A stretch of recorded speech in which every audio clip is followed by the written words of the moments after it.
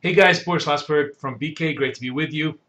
Just completed a week of our free trial for the first time ever. It's been a super week. We had a really great time uh, trading um, in the uh, uh, BK service as well as giving two really good webinars. And what I want to re reprise here basically is one of the setups that I showed in the webinar on Wednesday that I then actually traded live uh, on the webinar on Friday after the NFPs. Most of you are familiar with my RSI roller coaster uh, setup, which is basically a setup where you pick tops and pick bottoms by looking at the peak momentum in the RSI. So momentum peaks out somewhere around 70, and after after it breaks the the, uh, the peak, you would go short. Conversely, when it peaks um, out as far as downside momentum, you would you would turn it around, and it breaks above the 30, you'd be a buyer.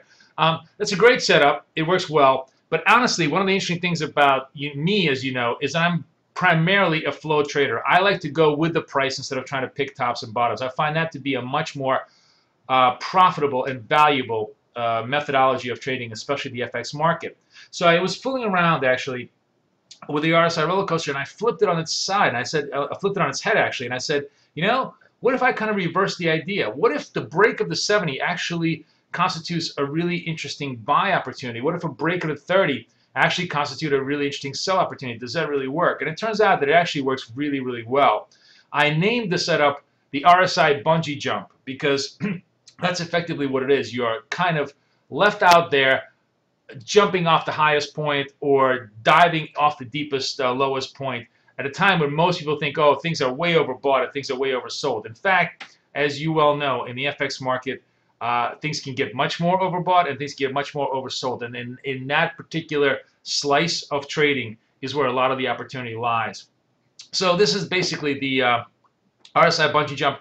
And you know the the pure methodology of this is you you buy once the this is the uh, this is the hourly candles right so let me just uh, I'm gonna zoom in here a little bit you guys can see this on a more zoomed in basis so these are hourly candles let me see if I can pop up the uh, uh the display data so you can see. So this particular candle here is 27. It's below 30, right? So you'll be a seller uh, below 30. Uh, the stops are essentially very similar to the stops that I use in my flow setup, which is 50 stop, 30 target. The idea here is you want to be at 65% accuracy or 70, 70% accuracy to, uh, to really make the uh, setup worthwhile. Um, as you can see, it actually is uh, performance. I was actually shocked at how well it performed. It, it performed in the euro at 80% accuracy in the month of February. So uh, far in excess of what you need to do in order to become profitable. But anyways, uh, the pure setup is you break the uh, the 30 or you break the 70. The more modified setup is uh, to give yourself a little bit of a leg up on the um, on the trade. Is you can enter when it's um, when you can you can enter long when it's 65 or higher. So any anytime when it's 65.01 or 6.02, you can enter one candle early and you could enter when it's 35 or lower. So if it's 34, um, uh, excuse me, 36 or lower. Uh, so there would be like you know 35.90, and you you could you could come in on, um, on that price as well. So that gives you just maybe sometimes an hour ahead of time on the entry price, and sometimes it does put you in a better position. It does make you take more trades and that, of course, can also trigger uh, more stopouts because the more trades you take, the the, uh, the less likely you're going to be accurate. But irrespective, I think both setups work quite well. This is the general structure of it. As always, I offer structure, and it's up to you then to decide how you want to use it. Um, I actually do like the whole idea of, of front-running the trade where you go into the 65s and higher or into the 35s or lower on the short and long side. So let me show you a couple of real-life uh, examples of this. So this is euro dollar. There's actually a couple of trades here. It's, it's kind of you know this is my this is my uh, uh, experimental account. So there's a lot of stuff going on here. But here's one that's a classic where you sell the uh, the 30s in the euro dollar. It's it's a positive trade over here.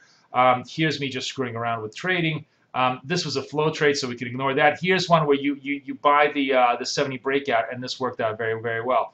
But the trade that we did on Friday during the NFP Friday um, worked very well. And this was this was a this was this particular setup, the RSI bungee jump, in combination with um, uh, excuse me, in combination with uh, the fundamentals that I thought were very important at that time, that really kind of worked quite well for uh, for the yen at that point.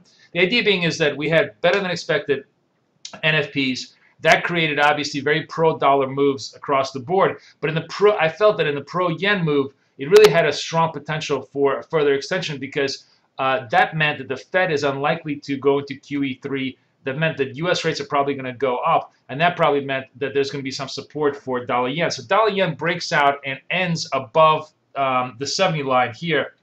We went long 82.30.